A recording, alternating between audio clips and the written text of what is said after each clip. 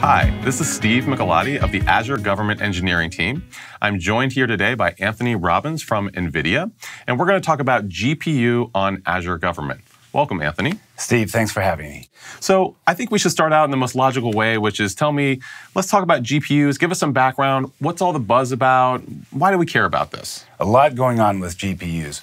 And a lot of this has been inspired by the fact that for the last 30 years, we've been able to get a predictable 50% performance improvement from microprocessors every year. And this is because the amount of transistors we've been able to put on the chip has improved such that we could get that performance. What we have found over the last several years is that's trailing off. So instead of a 50% performance improvement, we're like at 10%. Now, interestingly, that's happening at the time in which the world's networks are getting faster and the world's data is, is more and more than we've ever seen. So we've got faster networks, more data, slowing microprocessor performance. And at the same time, what we at NVIDIA have found a way to do is give accelerated computing capabilities via these things we call GPUs. Okay, great. So, definitely an exciting time to be a technologist with everything we have going on right now. Talk to me a little bit more about where NVIDIA fits into this specifically. Well, so our GPUs we first brought out into the high-end gaming and graphics marketplace. And then what we found is if we could program these GPUs, we could make them more available to general purpose computing. And so we came out in 2006 with something that we call CUDA. And CUDA is a programming model that allows users to unlock the capability of GPUs. And that, that began to make GPUs more widely available in the marketplace and begin, began giving high performance capabilities to broad users in industries around the world. Okay, that's very interesting. So that uh, imagine lots of different scenarios where GPU can be uh, brought to bear. I know that in Microsoft specifically, AI uh, and artificial intelligence is very interesting to us. We, we fancy ourselves one of the world leaders. Um, where does NVIDIA fit into AI in that landscape? Yeah, so not only do we consider Microsoft the leader in this space, corporately committed and the like. So there's a great partnership opportunity for a few reasons. So as as we have been investing in GPUs and CUDA, somewhere around 2012 and 2013, there began to be some breakthroughs in the area of image recognition, which began this kind of bringing the world to think about how, how AI might inspire enterprises of the future. And so that from 2012 on, what we have found at, at uh, NVIDIA is our hardware, GPUs, and our software, CUDA, has been at the heart of most of the world's progress in AI. So we're delighted with a chance to team with Microsoft in bringing cloud capabilities to the government. There's a whole bunch of use cases that make sense to federal government. If we're talking about civilian agencies, public safety is a key is a key opportunity. Microsoft has got a ton of skills there. We think GPUs and CUDA and the, the Microsoft Azure cloud, government cloud work really well. But there's also others, right? There's waste, fraud, and abuse. The U.S. spends 147 billion dollars a year in waste, fraud, and abuse. So as taxpayers, I like to think we have we have responsibility to help them with that business problem. That business problem has at its core lots of data. So I think we can help there. As well, healthcare is a big focus for both of our companies. I think we can add value to the civilian agencies and state and local government from a workload perspective. The other thing really important is uh, our response to natural disasters. The U.S. last year spent $306 billion responding wow. mostly to hurricanes, right? But so if we think about the role of FEMA, or we think about the role of NOAA in, with respect to weather forecasting and modeling. Great opportunities for accelerated computing, our GPUs, CUDA, yeah. working along with Microsoft. And then, of course, if I go into the Department of Defense, command and control is a, is a big use case, the area of cyber. Um, an admiral at uh, Cyber Command stated that artificial intelligence is going to play a fundamental role in the future of cybersecurity. Platform sustainment in DoD is another area, as is transportation, logistics, and autonomy. The point, Steve, is the use cases are many, and the opportunities for a world class company like Microsoft, the cloud capabilities that you guys have, and then the technical merits of our product in your cloud offer us a chance to serve this customer very well.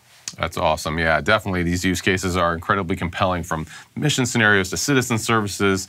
And you did a great job, I think, uh, delineating a lot of the, those different uh, use cases and services. Okay, so uh, we've been talking pretty big picture here. Let's talk a little bit more specifically about um, Azure government specifically and how NVIDIA fits into that. If we look actually at this slide here, we see that we have some of our NC series uh, compute machines that we have, uh, GPU powered machines in Azure Government.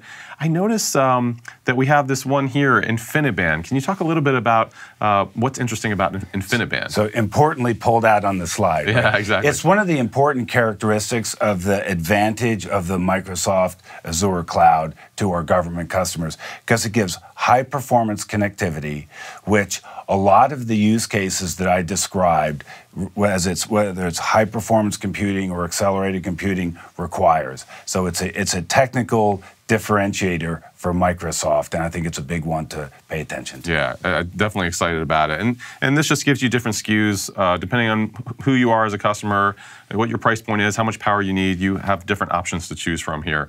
Um, okay, and so I noticed that we also have these visualization VMs. What's the from a high level, the differentiator between the visualization VMs versus compute? Well, no solution from us would be complete if we didn't offer this as well. Right. So, our, the start of our company and the founding and where we kind of first brought dominance to a marketplace was in high end gaming and graphics. This allows us to bring graphics and visualization capabilities to the cloud and offer it up in things like VDI, et cetera. Okay. All right, great. All right, so we've talked from a high level, we've talked a little bit specifically on Azure. I think it's time to get into a demo. That's what everybody wants to see. Okay, great. So what I'm going to do here is I'm just going to flip right over to the Azure Government portal. We can see right at the top Microsoft Azure Government, and I'm going to provision a VM with GPU uh, power on it, powered by NVIDIA. Every time I do something like this, I think to myself, you know, what would this take to uh, provision something like this in my own data center? To have to requisition the hardware and make sure I have room for it in my uh, data center and make sure my operating system is good to go. Let's contrast that with the experience you get with um, Azure here. So I just typed in the data science virtual machine, which is one of the VMs we have, which is preloaded with a bunch of software for artificial intelligence workloads. So that's probably a good candidate for a GPU powered device. We'll just call this NVIDIA demo right here. That's just the name of my machine. We'll select HDD. Uh, we'll give this a admin username and password. And we just have to confirm the password right here. Okay, so let's, what the heck, let's put this in production and let's just say NVIDIA demo is my resource group. And I can select my location here, and these are all the US government, Azure government uh, data center locations. I'll put it in US Gov Virginia. Now this one's a little bit more interesting here. Uh, we can select what uh, VM types we want, and I can even have a slider here, minimum and maximum. Let's scroll down to those NC series machines we just looked at a second ago on the PowerPoint. So here we go. Here's the NC6 machine, NC12. Oh, here's this one, uh, 24R. This is the one with the InfiniBand technology you mentioned. That's right. Easy to get to, hasn't taken very long, and contrast that to you know how challenging it is to create data centers and enterprise capabilities in government today. Absolutely. Okay, so that and we can see the price right in here for each one. I think NC6 is probably uh, sufficient for my workload here. So I'm going to select all the defaults here for the virtual network that it's going to put this inside of. It's going to see that I've already passed validation. I'm good to go. Yes, I'm happy with this. I'm going to click create and we're done. It's going to take about five minutes behind the scenes to provision, but that's all. Now I have GPU at my fingertips ready to go. That's amazing. So one of the great enterprise companies in Microsoft, and amazing GPU and CUDA technology available to our customers, just like that. Absolutely. So since I don't want to wait five minutes, not that that's a long time, but I don't want to wait five minutes uh, as we're talking here, I'm going to flip over to another GPU powered machine that I already uh, have provisioned. And just one thing I want to point out the device manager right here, we can see, prove this to everybody that yes, this is running NVIDIA Tesla K80 graphics cards right there. Now, what I have here is a Jupyter Notebook uh, running uh, our cognitive toolkit technology at Microsoft. Jupyter Notebook, you can run Python workloads, PySpark, Spark spark clusters. There's a slew of AI tools we bring to bear here. This is an example of actually something I heard you talking about earlier in our discussion here, where you talked about some image recognition and computer vision. You referenced, of course, 2012 when we had breakthroughs in convolutional neural networks. This is an example where you can just come in and see image recognition with flowers and um, can use CNTK to GPU to train uh, recognition to differentiate different types of flowers. And this is just a really good tool to be able to come in and, and train your models and play with the data and that sort of thing. So, and it relates exactly to several really big use cases across the public sector market space. Absolutely. So this is example with flowers, but yeah. think about all the exactly. scenarios you could apply it to. Exactly. Okay, great. All right, so that's just a quick uh, intro to some of the tools you have available that really benefit from being GPU powered. Okay, so to wrap all this up, um, kind of a call to action in terms of how does someone want to get started with GPU on Azure Government? I notice right here we have this NVIDIA Microsoft GPU POC program. Can you tell us a little bit about that? I, I can, and it's it's a really important opportunity for us to be in service to our customers in public sector, because there's no doubt that the public sector marketplace is moving towards an artificial intelligence inspired enterprise, but they're going to need help right? They have one thing that we care deeply about, and that's a bunch of data. So, what we want to do to help the government is we do have to help train their data scientists, but we have to expose them to use cases are opportunities.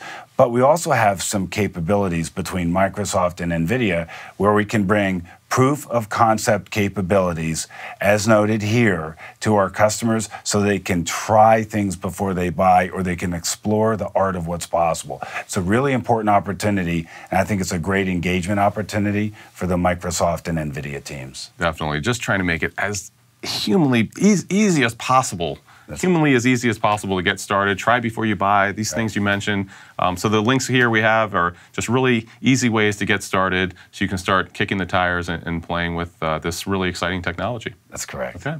Okay. Well, thanks for joining us. Uh, this has been Steve Michelotti with Anthony Robbins from NVIDIA. Thanks for watching.